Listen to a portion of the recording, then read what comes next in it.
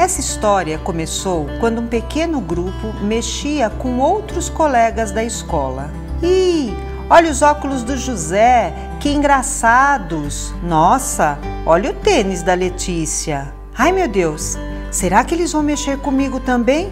Pensou a menina. E não demorou nada até Antônio falar: Ei, Quantos hambúrgueres você comeu hoje? Como está estufada? Ha ha ha! Foi uma gargalhada geral. A menina não entendeu o que havia acontecido, mas de repente sentiu sua barriga crescer. Nos dias que se seguiram, ela se olhava no espelho e se via estufada. No outro dia, no intervalo das aulas, um dos seus coleguinhas falou: Isso mesmo, você está estufada e seus cabelos parecem um cogumelo. Ai, agora são os meus cabelos que parecem um cogumelo? afligiu-se. A menina começou a se sentir esquisita, sem vontade de fazer suas atividades escolares.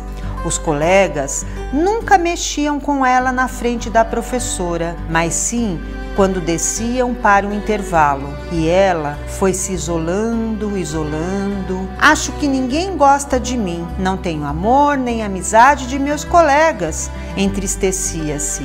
Em casa, os pais começaram a perceber que algo estava errado. Sem que ela soubesse, foram conversar com a professora. Ela lhes disse que a menina estava mesmo mais quieta na sala de aula e queria verificar o que estava ocorrendo. A professora ouviu a menina e falou aos alunos que chamaria os pais deles para conversar e ensinou a todos que quando colocassem os pés dentro da escola, cada aluno deveria ter o objetivo de ser uma pessoa melhor.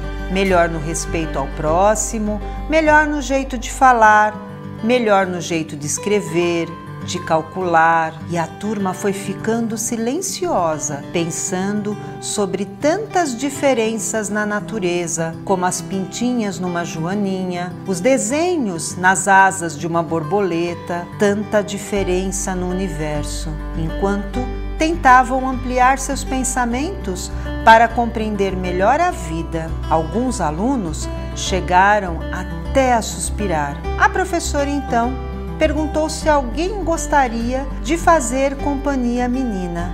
Quer saber como termina essa história?